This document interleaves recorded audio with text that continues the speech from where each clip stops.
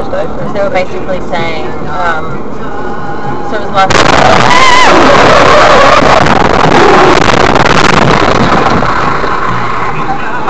What the fuck are you doing, truck? Are you okay? Yeah, I'm fine. Are you okay? Yep. How's off?